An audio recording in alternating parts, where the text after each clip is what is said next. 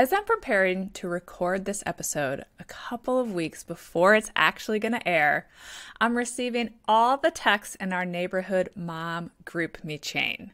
Everyone is anxiously awaiting to hear teacher assignments and discussing bus stop locations and times of pickup and drop off. Several of my younger mom friends have kiddos going into kindergarten, and it made me want to revisit a topic that I blogged about years ago when my daughter was starting kindergarten. The topic of how much sleep is ideal for a kindergartner. More specifically, what are the signs that your kindergartner may benefit from more sleep? Hi, I'm Allison Egidi, a pediatric sleep and wellness coach and a mom of two. I love to help parents find solutions. This is How Long Till Bedtime.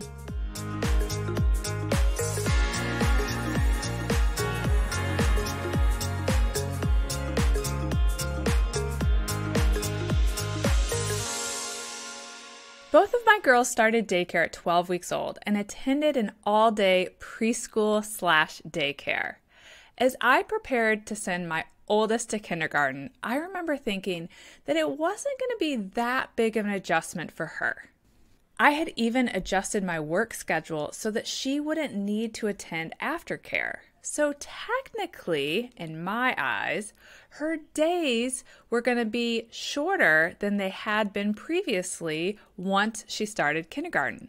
And while I know she fared better than a lot of kids I know because she was used to a full day out of the home, and I already was putting her down at 7 p.m., even she, well rested at the age of five and a half years old, often needed a 6:30 bedtime during that kindergarten year.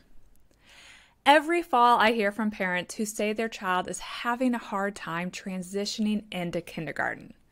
I hear about behavior struggles. I hear about resistance going to school.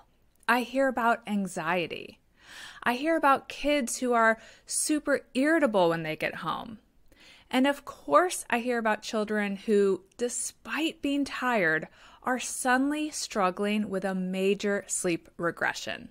I acknowledge that there are many reasons a child may struggle adjusting to kindergarten. Even children who are used to going to daycare or school all day. Elementary school is very different than the typical daycare or even the typical preschool. In most cases, there is no rest or nap time.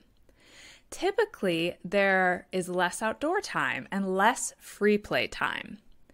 There is more focused learning, and the expectation of the children to actually retain what they're being taught is noticeably higher. And then on top of that, many kids are attending after school programs that further wipe them out starting kindergarten is kind of like starting a new job in a new industry. It's a big adjustment. What I want to help kindergarten parents do is figure out how much sleep their child could benefit from in order to make this big year easier. Let's start with how much sleep is generally ideal for five to six year olds. This age group is typically going to thrive with 10 and a half to 12 hours of night sleep.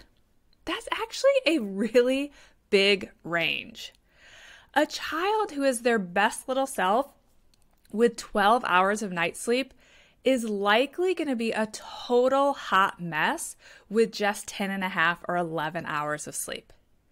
And a child who truly has lower sleep needs is going to be ready to conquer the world with just that 10 and a half hours of sleep.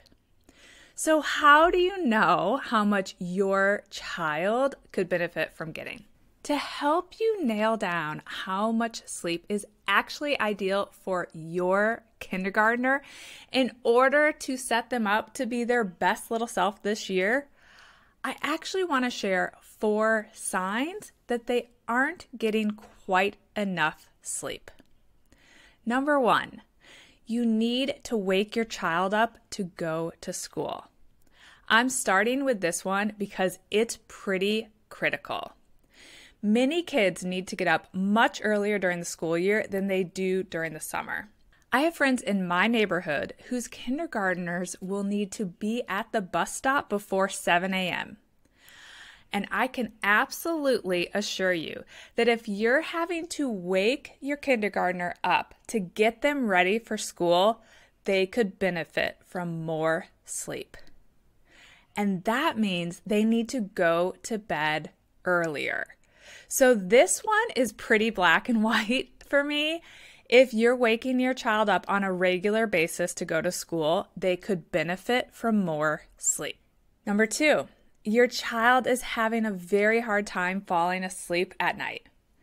Now, while the first one I mentioned may have felt like an easy, uh huh, yeah, that makes sense, this one is a little bit more confusing. If your child is taking a long time to fall asleep at bedtime, you may think that that's a sign that they're actually ready for a later bedtime. But there's really a good chance that they missed their strong natural sleep wave and they're having a hard time because they caught a second wind. This can lead to more bedtime resistance, and it can truly make it harder for kids to fall asleep, even if they're not resisting going to bed.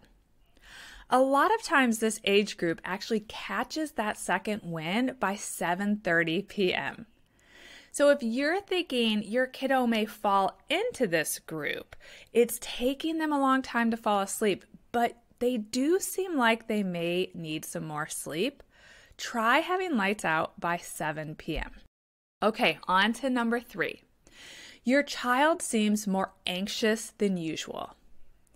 Just like adults, some kids are definitely more prone to anxiety. If you, like me, deal with anxiety, you likely know that being overtired fuels anxiety like nobody's business. I also have a child who struggles with anxiety, and I talk very openly about how being tired makes everything feel more overwhelming and harder. I talk openly about my anxiety when it flares up, and on those days, I always share that I need to go to bed earlier to help myself feel better. If your child is more anxious than usual, focus on getting them more sleep and see if that is a good starting point to help them feel better. Number four, last but not least, if your child seems really wired in the evenings, it might actually be a sign that they could benefit from more sleep. Sometimes this presents as a child being grumpy or tired after school or maybe during dinner, but then suddenly they are full of energy.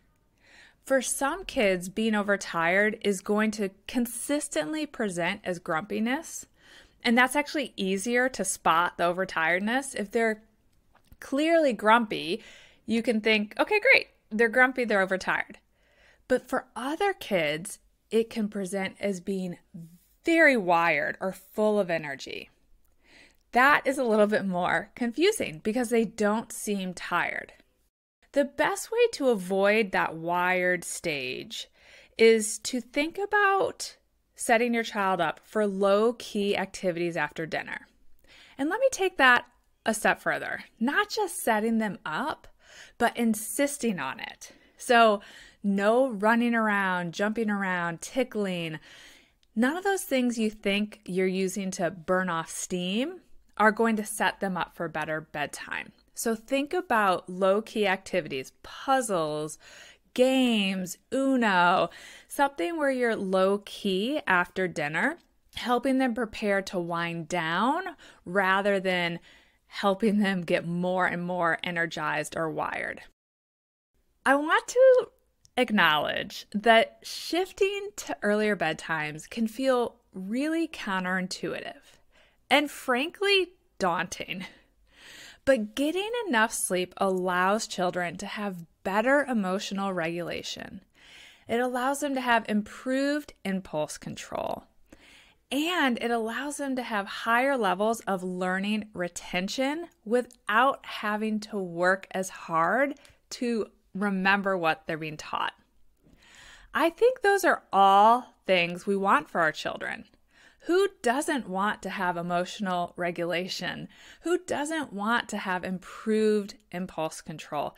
And who doesn't want to have higher levels of learning retention? These are really no brainers. And I really believe that getting the right amount of sleep can actually make a big difference when it comes to a child having a great kindergarten year versus possibly a stressful kindergarten year. I hope this episode is helpful as you start to navigate figuring out how much sleep will set your kindergartner up for a really great kindergarten year. And before I wrap up today, I want to let parents who have a strong willed two and a half to six year old who is struggling with their bedtime routine, or is struggling falling asleep on their own, or is struggling with middle of the night wakings, I want to let those parents know that I have a special September sleep session that is currently open for enrollment. Your preschool sleep champion is a lifeline for exhausted parents and restless little ones. You can say goodbye to bedtime battles and say hello to restful nights filled with sweet dreams. Imagine evenings where your child peacefully drifts off to sleep on their own without needing you in the room or waking up multiple times during the night. You'll be able to choose between four unique approaches that can bring peaceful evenings back to your family. And in this special September session, it's going to come with personalized Zoom support sessions with me. So picture this the opportunity to join seven interactive Zoom sessions where you get direct access to me, your sleep ally. You'll be able to ask me your burning questions, share your concerns, and together we'll tackle those sleep related sticking points that have been robbing you of your evenings and keeping your family up at night. Now, I know fall is a busy time, and you might be thinking, should I wait to do this? Well, here's the thing I open the doors to these special Zoom sessions only three times a year in September, January, and May. And let's face it, there is never a perfect time. And while you can always purchase this program, having me as an accountability partner during this September session may be what finally makes the changes stick. So, if you've ever considered giving your preschool sleep champion a shot, but you've also wanted personalized guidance to help you navigate this sleep transformation successfully, this is your moment. Head over to www.allisonegidi.com forward slash YPSC to learn more about how you can change your family's nights for the better. Don't forget that you can also find the link, just like all the links I mentioned, in the show notes. Or you can simply shoot me a DM on Instagram and we'll get you the link. Let's work together to make bedtime battles a thing of the past and embrace the serenity of peaceful evenings and sleep filled nights. I hope to see you on those Zoom sessions very soon. Bye for now. Thank you for listening to How Long Till Bedtime. To learn how we can work together to improve your child's sleep, pleep and wellness coach.com.